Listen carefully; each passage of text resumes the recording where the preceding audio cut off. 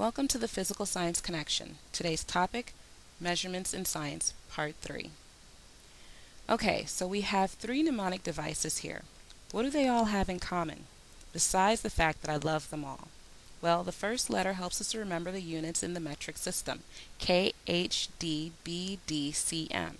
So what do they all really mean? Let's take a look. Here we have them all listed in order on the left. On the right we have the metric conversion ladder that shows the units in order from largest to smallest with the largest one at the top and the smallest one at the bottom. Moving up the ladder means that the decimal moves to the left. Moving down the ladder means that the decimal is going to move to the right. Are you ready? In part 2 of the measurement series, we learned that the eraser was 2.5 centimeters.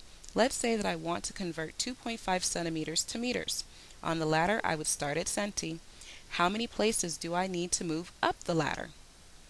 Okay, so let's move the decimal that number of places to the left.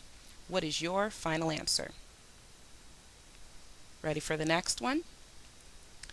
Now let's look at the graduated cylinder with the two stones.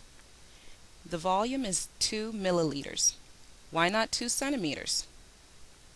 Well, I want to convert to centiliters, so I will repeat the process on the ladder. I know where I am and I know where I need to go. So what is the final answer here? You guessed it. Now here's the triple beam balance again. I need to convert from grams to milligrams. Which way am I going to move the decimal? Did you say three places to the right? Then you're right. So the final answer is